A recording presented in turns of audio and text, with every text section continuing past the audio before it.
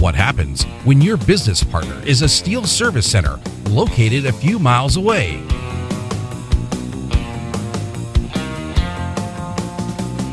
The shortest lead times in the industry.